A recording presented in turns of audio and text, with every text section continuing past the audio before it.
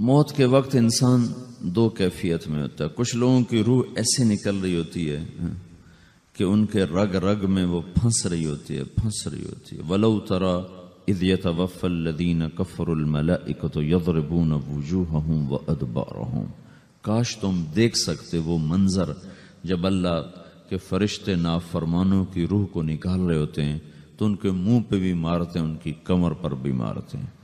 और अखरजू अनफुसकुमुल यौम निकालो आज अपनी रूहों और जानों अब तुम बच नहीं सकते हो। वो पीछे हटना चाहते हैं। रब्बर जून मुझे वापस कर दे, थोड़ी देर के लिए। लली अहमद सालहन। अब मैं पूरा पूरा ठीक ठीक मुसलमान बन के चलूँगा। तो उसके जवाब में होता है, और हदीस पाक में आता है कि मलकुल मौत उतरता है, उसके साथ चार फरिश्ते होते हैं। वो चारों फरिश्ते आते, उसकी पिटाई शुरू कर देते हैं। अभी परसों ये हदीस मैंने पढ़ी इब्नु माजा में, कि मलकुल मौत कहता है अयत नफ्सुल खबीसा, कानत फिल जसदिल खबीस। ए खबीस रूह, जो खबीस जिसम में थी, उखरुजी, बाहर आओ। अब वो वापस तो हो नहीं सकता, अपने आप को रोक तो सकता नहीं। तो वो हैरान, परेशान खौफ ज़दा तो उसके जवाब में उसको मलकुल मौत कहता अब शरी अब शरी बेहमीमिन व गसाक व आखर मिन शक्ल ही अजवाज। तैयार हो जाओ खौफनाक अजाब के लिए और खोलते पानियों के लिए, कांटेदार झाड़ियों के लिए और बेशुमार अजाब की शक्लों के लिए। तो उसकी रूह को जब खींचते हैं तो रग रग से वो कट कट के निकलती है। तो सारा वजूद जेरो जबर होता है। सकरात का दर्द सारी दुनिया के दर्दों पर हावी है। जब उसकी रूह निकलती है और उसको लेकर आसमान पर चलते हैं तो दरवाजे पर पहुँचते हैं तो अंदर से फरिश्ते पूछते हैं, कौन है? कहते हैं, फलां फलां का बेटा है। का नफसन खबीसा फिल जसद खबीस ये तो वही बदमाश है जो बदमाश जिसम में था। ये वो बदबख्त रूह है जो बदबख्त जिसम में थी। इसके लिए आसमान के दरवाजे नहीं खोल सकते, इसे वापस कर दिया जाए। तो आसमान के दरवाला तो फ़तम अबवाबसमा वला यदखलून जन्नत हत्ता यलजल जमल सम्मिल खयात, कि इनके लिए आसमान के दरवाजे नहीं खुलेंगे और इनके लिए जन्नत के दरवाजे नहीं खुलेंगे। फिर ये वहाँ से नीचे गिराए जाते हैं, जो अल्लाह का कैद खाना है सिज्जीन। वमा अदरा कमा सिज्जीन। किताब मरकूम। वो तुम्हें खबर नहीं कि वो क्या खौफनाक कैद खाना है जो अल्लाह ताला ने बनाया है, उसे वहाँ धकेल दिया जाता है। फिर क्या तक उसके लिए इंतज़ार की घड़ियाँ हैं और अजाब की शिद्दत है। और जब कोई नेक आदमी अल्लाह ताला के दरबार में जाने का उसका वक्त आता है तो अल्लाह तबारक फरमाते हैं इन लदीन कालू रबन अलैहिमुलमलाइकतु अल्ला तखाफु वला तहजनु व अबशरू बिल जन्नतिल्लती कुंतुम तुअदून नहनु औलियाउकुम फिल हयात दुनिया व फिल आखिरा वलकुम फीहा मा तश्तही अनफुसुकुम वलकुम फीहा मा तदउन नुजुलम मिन गफूर रहीम जब कोई नेक मर्द औरत के जाने का वक्त आता है तो उसके लिए भी फरिश्ते आते हैं और आकर उसको खुशखबरी देते हैं और आकर उसको तसल्ली देते हैं कि आप गम ना करें, पीछे भी, पीछे वाले भी आपको मिल जाएँगे। आप खौफ ना करें। आगे सारी मंजिलें आपके लिए आसान हैं। आपके लिए जन्नत भी तैयार है, रब भी मेहरबान है। और हदीस पाक में आता है कि मलकुल मौत और चार फरिश्ते आते हैं। वो चार फरिश्ते उसको सहलाते हैं, दबाते हैं कि मौत का दर्द इसे महसूस ना हो। और मलकुल मौत फरमाते हैं अयत नफ्सुल हमीदा कानत फिल जसद हमीद उखरजी. ए नेक रूह जो नेक जिसम में थी, बाहर आओ। क्या करो? वह अब शरी व रोहन व रेहान। व रबिन रौदिन अन की गैर गदबान। आपको बशारत हो, आपके लिए जन्नत तैयार हो चुकी है। और वहाँ की सारी नेमतें आपके लिए मुयसर हो चुकी हैं। और अल्लाह आप पे राज़ी हो चुका है। और अल्लाह आप पे खुश हो चुका है। इस पर उसकी रूह को निकाला जाता है, फिर सारे फरिश्ते उसको इस्तकबाल के साथ जब आसमान पर ले जाते हैं तो अंदर से पूछते हैं, कौन है? का फला फला का बेटा, फलां फला की बेटी। कहते हैं, नफसन हमीदा फ़ी जसदिन हमीद। ये तो नेक रूह थी, जो नेक जिसम में थी, मरहबम बही। इसको हम सब इस्तकबाल किसका करते हैं, और एकदम आसमान के दरवाजे खुलते हैं। फिर वो पहला, दूसरा, तीसरा, चौथा सारे आसमान पार करता हुआ अल्लाह पाक के अर्श के नीचे के जाकर मर्द है या औरत, वहाँ जाकर सजदे में सर रखता है। और अल्लाह ताला फरमाते हैं हाँ इसने हमें खुश किया, हम इसे खुश करेंगे। और उसको आफियत के साथ, वहाँ आसमान में, पहले आसमान से लेकर अल्लाह के अर्श तक ये सब वेटिंग रूम बने हुए जहाँ अल्लाह अपने अपने दर्जात के मुताबिक जन्नत वालों को ठहराता है। और वो इंतज़ार गाह है, और वक्त ख़त्म हो जाता है, लिहाजा इंतज़ार की जो तकलीफ़ है, वो भी ख़त्म हो जाती है। वक्त ख़त्म तो इंतज़ार का एहसास ख़त्म और टाइम के गुजरने का एहसास ख़त्म। तो जैसे असहाब कहफ को अल्लाह ने गार में दाखिल करके तो गार के अंदर से वक्त को निकाल के बाहर फेंक दिया। बाहर 300 साल गुजरे, अंदर आधा ही दिन गुजरा था।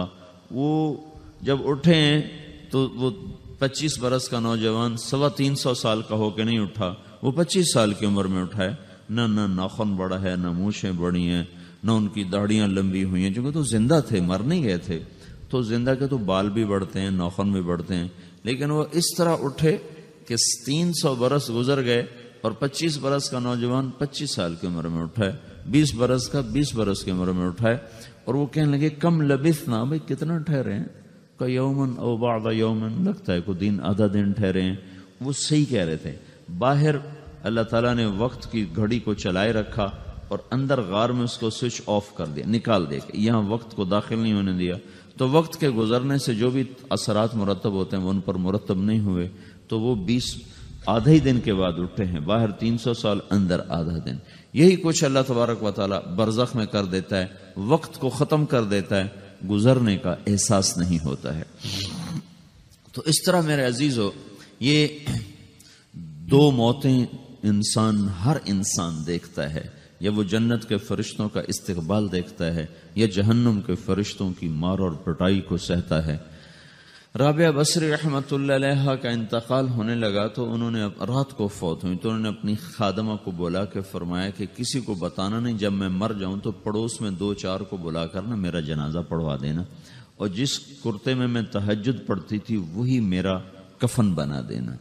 और सुबह बेशक लोगों को बता देना, मेरे मरने के बाद मेरी मैयत को रखना नहीं, फ़ौरन दबा देना। जब तो उनका इंतकाल हुआ तो उन्होंने पड़ोस के दो चार दस बीस आदमी बुलाए और उनको तदफीन, तजहीज सब कुछ हो गई। सुबह शोर मचा के वो राबिया बसरी का इंतकाल हो गया।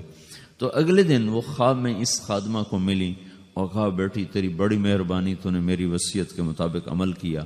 उसने देखा कि उन्होंने एक खूबसूरत सब्ज लिबास पहना हुआ है। तो वो फरमाने लगी, इन्होंने सवाल किया कि आपके साथ कब्र में क्या हुआ?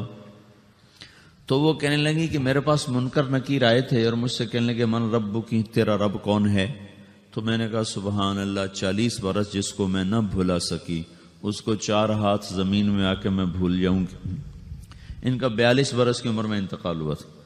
तो वो कहने लगे सुबहान अल्लाह जिसको मैं चालीस बरस ना भुला सकी, मैं उसे चार हाथ ज़मीन के अंदर आके भूल जाऊँगी। तो मुनकर नकीर कहने लगे, इसका क्या हिसाब लेना? फिर उन्होंने पूछा कि वो आपका वो कुर्ता कहाँ गया तहजद वाला जिसमें आपको कफन दिया था? का वो अल्लाह ने मुझसे ले लिया है और मेरे आमाल के खजाने में रख दिया है। क्यामत के दिन मेरा वो कुर्ता भी मेरे ताराजू में तोला जाएगा और मुझे ये लिबास पहनाया है, जो जन्नत का लिबास है। ये ये भी एक मौत है। इस तरह भी लोग मरते हैं और दूसरी भी एक मौत है। हमारे हमारे इलाके की बता रहा हूँ, अपने इलाके की। एक जिम्मेदार मर गया, उसकी कब्र खोदी सारी बिच्छुओं से भरी हुई। ऐसे जैसे चिंटियाँ फिर रही होती। तो उन्हें वो बंद करके दूसरी खोदी, सारी बिच्छुओं से भरी हुई। फिर वो बंद के, बंद करके तीसरी खोदी, सारी बिच्छुओं से भरी हुई। कब्रिस्तान में इतने बिच्छू कहाँ से आ गए? ये ज़मीन के बिच्छू नहीं है, ये आखरत की बलाएँ हैं, जिसके साथ अब उसे क्यामत तक रहना है और गुजारा करना है। तो ये दो तरह की मौतें, रोज़ाना लोग मरते हैं, रोज़ाना लोग मरते हैं। जब नमाज़ का वक्त होता है, मलकुल मौत सारी दुनिया का चक्कर लगाता है और देखता है कौन पढ़ रहा है, कौन नहीं पढ़ रहा, कौन पढ़ रहा है, कौन नहीं पढ़ रहा। जो नमाज़ की पाबंदी करता है, उसकी मौत आसानी से होती जो नमाज़ में गफलत करता है उसके साथ मौत के वक्त शिद्दत और सख्ती इख्तियार की जाती। तो भाइयों, ये एक जिसम है, एक रूह है। रूह बाकी रहने वाली चीज़ है, जिसम मिट जाता है, फिर अल्लाह से क्यामत के दिन नया जिसम अता फरमाएगा। एक नया जिसम दिया जाएगा, रूह वही है, जो अल्लाह के खजानों में जमा हो जाती है।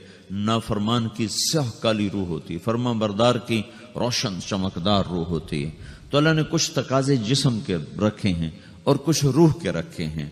जिसम के तकाजे पूरे न करो तो ये परेशान हो जाता है। रूह के तकाजे पूरे न करो तो ये परेशान हो जाती रूह की परेशानी जिसम से ज़्यादा है, क्योंकि रूह की ताकत जिसम से ज़्यादा है। रूह मट, जिसम मट्टी से बना है, इसकी गजा भी मट्टी से निकलती है। रूह आसमान से है, इसकी गजा भी आसमान से है। रूह का ताल्लुक जब तक अल्लाह से नहीं जुड़ता, इस भूख और प्यास लगती रहती है।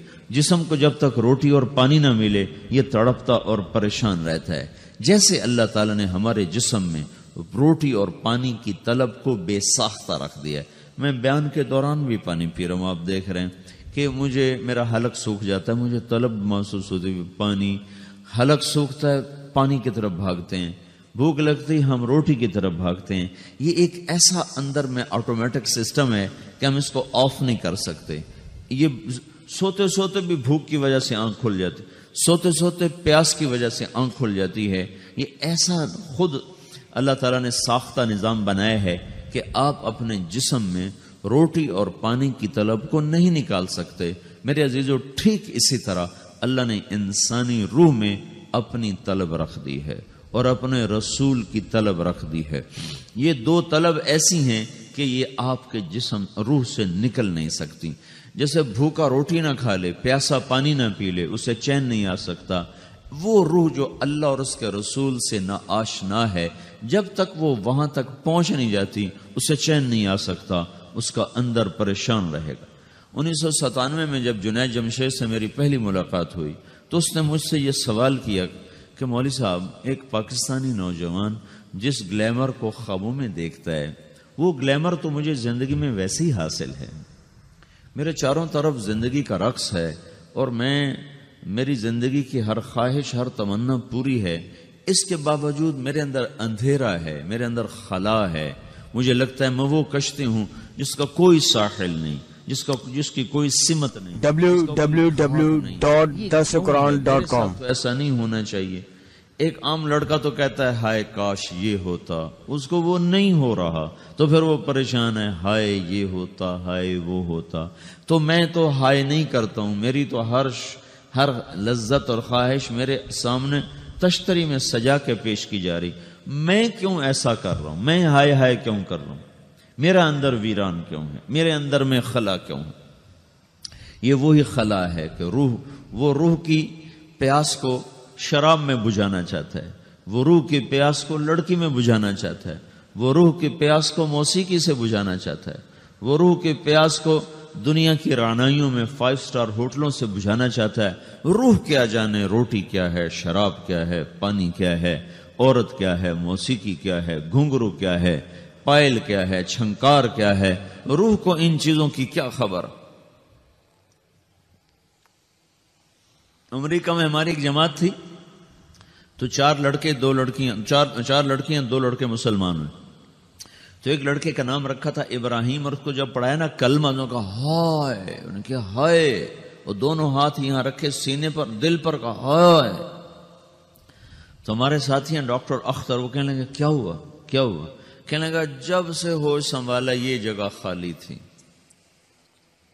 ये तेरे कलमा पढ़ाने पर भर गई है, कि मेरी खुशी से हाय निकल गई।